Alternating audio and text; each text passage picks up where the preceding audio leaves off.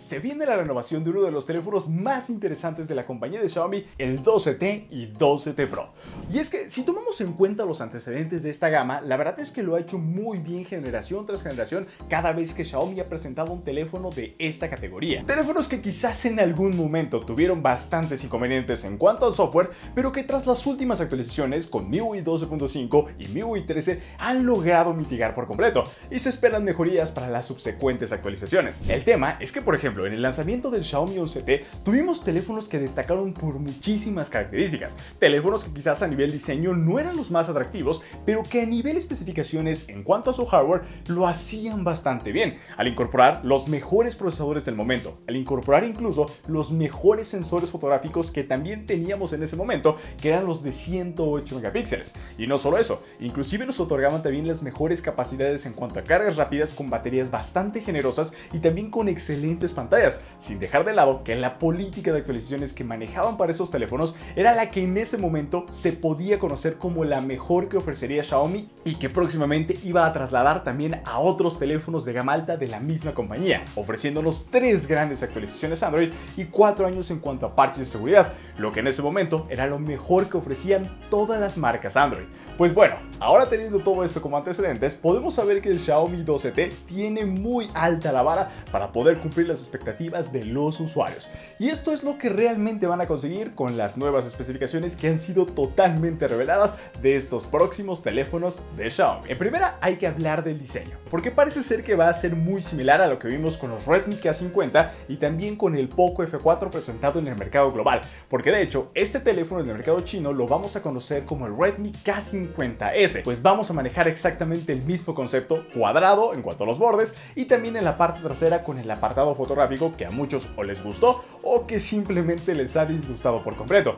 El tema es que al menos a nivel estético me parece mucho más atractivo que lo que tuvimos en la generación pasada del Xiaomi 11T. Fuera de ahí, todavía no conocemos cuáles podrían ser los materiales de construcción, aunque se esperan que sean los más económicos posibles porque recordemos que esta gama no suele ofrecerse por precios muy elevados. Después, también hay que hablar de las especificaciones de la pantalla que van a destacar muchísimo para este teléfono, porque vamos a estar teniendo un panel con 120 Hz AMOLED con 6,67 pulgadas con las tecnologías tradicionales, incorporando sí la mejor protección que es Corning Gorilla Glass Victus en la versión número 7 y junto a eso tendríamos un panel de 10 bits con HDR10 Plus con Dolby Vision, una característica que no teníamos en la generación pasada, pero que Xiaomi ha decidido ya incluir en sus nuevos terminales móviles. Por ende, es que a nivel multimedia estaremos también perfectamente cubiertos gracias a los altavoces usuales que tendrá ese teléfono firmados con Harman Kardon. En cuanto al procesador y a nivel rendimiento, este teléfono no nos va a dejar nada mal parados, porque este teléfono aún no conocemos cuál de las dos variantes, el 12T o el 12T Pro, pero alguno de ellos estará incorporando el Snapdragon 8 Plus Gen 1, lo cual son excelentes noticias porque es el mejor procesador que tenemos hasta el momento y que elimina por completo los problemas que teníamos de sobrecalentamiento de la generación pasada y claramente aumentando incluso el rendimiento frente también a lo que teníamos con la primera generación de esta gama de procesadores de la nueva generación de Qualcomm. A nivel de almacenamiento estaríamos teniendo las versiones tradicionales, comenzando desde los 8 GB de RAM con 128 de almacenamiento interno y una segunda versión con 12 GB de RAM y llegando hasta los 256 GB. Por ende, es que desde aquí podemos conocer que vamos a tener teléfonos sumamente económicos al no ofrecernos mayores capacidades en cuanto al almacenamiento interno. Y por supuesto, descartamos el tener la capacidad para incorporar una tarjeta micro SD, aunque sí podremos tener dos compañías telefónicas con la tecnología Dual SIM. El software va a ser una de las cosas en las que más va a destacar ese teléfono y es una de las principales razones por las que la generación pasada destacó mucho frente a otros terminales móviles. Porque vamos a incorporar la versión de Android 12 con MIUI 13. El único inconveniente de esto es que desafortunadamente no llegamos con la versión nueva que es Android 13 y MIUI 14 porque todavía no son presentados. Entonces es el único inconveniente que tendríamos para esta nueva generación que desafortunadamente no va a llegar con la nueva versión, pero seguramente va a ser de los primeros en gozar de esta nueva versión apenas sea presentada por ambas compañías. Junto a esto hay que destacar que la política de actualizaciones se va a replicar a la misma que teníamos en la generación pasada, ofreciéndonos lo mejor que Xiaomi ofrece hasta el momento, que son tres grandes actualizaciones Android y cuatro años en cuanto a parches de seguridad. Por ende es que tendremos la versión de Android 13, Android 14 y Android 15. También hay que hablar de la batería, porque esta también será otra de las grandes virtudes de esta nueva generación. Incorporando una batería de 5000 mAh con 67 vatios de carga rápida para el Xiaomi 12T y una de 4500 mAh con 120 vatios de carga rápida rápida para el Xiaomi 12T Pro. Estas son las baterías que tendríamos para esta nueva generación y por supuesto con la nueva tecnología en la que ha trabajado la compañía de Xiaomi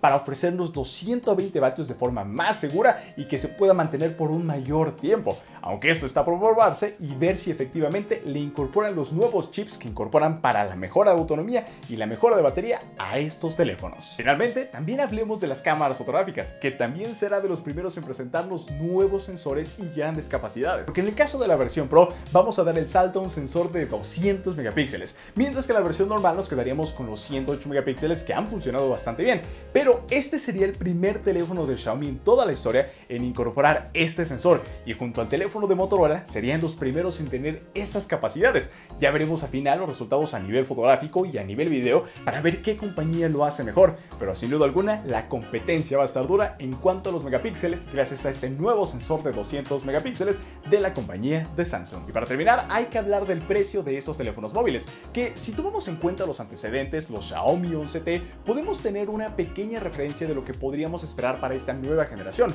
Recordemos que el Xiaomi 11T fue lanzado por 499 dólares, algo así como 10 mil pesos mexicanos, y este mismo precio se podría replicar para el Xiaomi 12T, mientras que en el caso del 12T Pro podríamos esperar un precio de 650 dólares, aproximadamente 13 mil pesos mexicanos, mismos que tuvo la generación del 11T Pro, aunque en esta generación incluso podríamos tener un bajón de precios, lo cual también sería muy similar a lo que hemos visto en otras generaciones de la misma Xiaomi. Y recordemos que tenemos como competencia al Poco F4, que si hay una variación de precios y por ende no habría competencia entre ambos terminales porque tanto a nivel software en cuanto a política de actualizaciones, como a nivel fotográfico, como a nivel rendimiento, hay mejoras importantes y los usuarios tendrán que determinar cuáles son las capacidades que realmente necesitan de un teléfono móvil. Pero bueno, esto ha sido todo, espero que les haya gustado, no olviden suscribirse y activar las notificaciones. Yo soy Montaño, este es TV y nos vemos hasta la próxima.